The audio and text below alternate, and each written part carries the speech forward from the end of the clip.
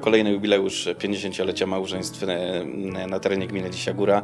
E, Dzisiaj odznaczyliśmy 36 małżeństw za długoletnie pożycie, medale przyznane w imieniu prezydenta Rzeczpospolitej Polskiej Andrzeja Dudy.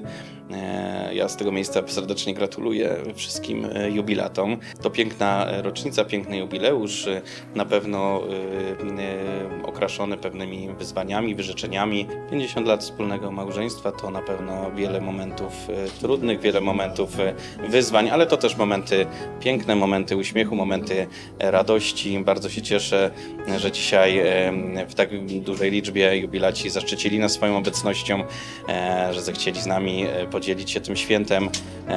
Byli dzisiaj pięknie uśmiechnięci. Życzę im, żeby kolejne jubileusze, które na pewno przed nimi, żeby tych dni uśmiechniętych, dni pięknych było przed nimi jak najwięcej e, i tych jubileuszy kolejnych, żeby było dużo i żeby były jak najbardziej okrągłe.